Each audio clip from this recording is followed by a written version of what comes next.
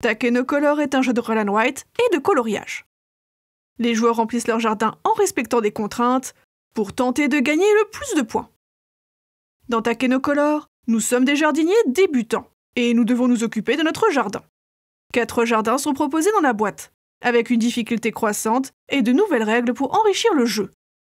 Les joueurs décident ensemble d'un jardin et prennent chacun une feuille. Le premier joueur lance les feutres, en choisit un, et ses voisins font de même les uns après les autres, jusqu'à ce que chacun ait un feutre. Pour remplir son jardin, il faut colorier un élément correspondant à la fois au symbole et à la couleur choisie.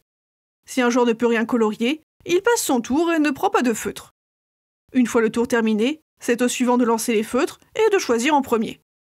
Si un joueur termine une zone avec une coccinelle, il l'entoure. La partie s'arrête lorsqu'un joueur entoure sa troisième coccinelle. Les joueurs terminent le tour et un décompte des points a lieu. Les points sont inscrits à côté des différents éléments. Certains ne rapportent des points qu'aux plus rapides ou aux joueurs majoritaires. Dans Takenocolor, il n'est pas question de remplir son jardin n'importe comment. Les joueurs doivent respecter plusieurs contraintes. Les bambous doivent être coloriés du bas vers le haut, mais les nuages et le soleil peuvent être coloriés dans n'importe quel ordre. Finir un nuage offre deux portions d'un même bambou à colorier.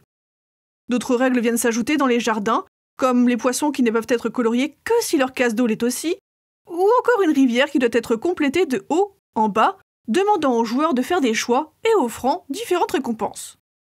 Chaque jardin offre de nouvelles règles, et Bombix propose même un jardin enfant sur son site.